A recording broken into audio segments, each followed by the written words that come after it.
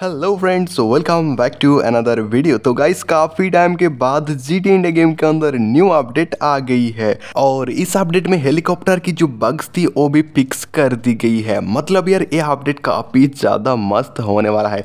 तो दोस्तों, आप भी अगर जानना चाहते हो न्यू अपडेट में जी टी इंडिया गेम के अंदर क्या क्या चेंजेस आया है क्या क्या व्हीकल ऐड हुआ है, उसका चिट कोड क्या है, सभी के बारे में आज हम डिटेल में जानेंगे। तो यार, आज की वीडियो काफ़ी ज़्यादा मस्त यार होने वाला है तो वीडियो को लाइक और चैनल को सब्सक्राइब करना ना भूलेगा। तो चलिए शुरू करते हैं।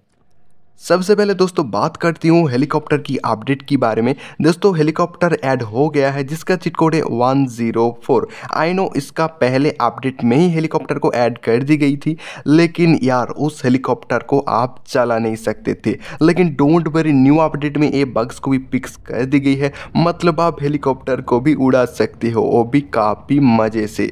जी हाँ दोस्तों, जैसे कि आप देख पा रहे हो तो जल्दी से जाइए गेम को अपडेट कीजिए और हेलीकॉप्टर को उड़ा चाहिए उसके साथ साथ दोस्तों, और एक व्हीकल ऐड हुआ है, जिसका नाम है जेसीपी अरे सच में यार जेसीपी भी ऐड हो गई है, जैसे कि आप यहाँ पे देख ही सकते हो, जिसका चिट कोड है सिक्स सिक्स सिक्स और आपके सामने जेसीपी हाजिर है। तो दोस्तों, यही था दो बड़ा बड़ा अपडेट जो न्यू अपडेट में इस गेम के अंदर आया है। तो दोस्तों, आपकी मन में कोई भी व्हीकल है या कोई भी चीज़ ऐड करना चाहते हो इस गेम के अंदर तो जल्दी से कमेंट कीजिए, और किसी भी चिट कोड के बारे में जानना हो, वो भी कमेंट कर सकते हो, मैं आपको बता दूँगा। दूँगा तो चलिए, आज इतने ही मिलते हैं और एक न्यू अपडेट में। तब तक bye bye and take care